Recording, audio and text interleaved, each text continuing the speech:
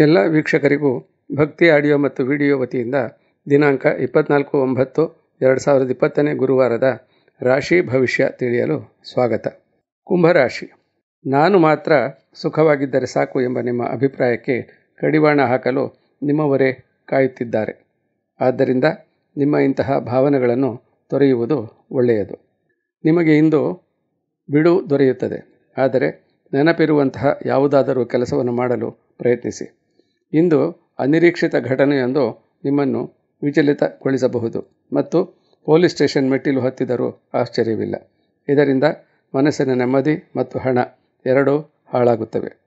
ಅಪರೂಪದ ಅತಿಥಿಯೊಬ್ಬರ ಆಗಮನ ಸಾಧ್ಯತೆ ಇದೆ ಇಂದು ನೀವು ಆಲಿಸುವ ಕೆಲವು ವಿಷಯಗಳಿಂದ ಪ್ರೇರಿತರಾಗಿ ಮುಂದಿನ ಬದುಕನ್ನು ರೂಪಿಸಿಕೊಳ್ಳಲು ಪ್ರಯತ್ನಿಸುವಿರಿ. ಸಂಗಾತಿಯನ್ನು ಸಮಾಧಾನಪಡಿಸಲು ಸ್ವಲ್ಪ ಶ್ರಮದ ಅವಶ್ಯಕತೆ ಇದೆ ಅದೃಷ್ಟ ಸಂಖ್ಯೆ ಐದು.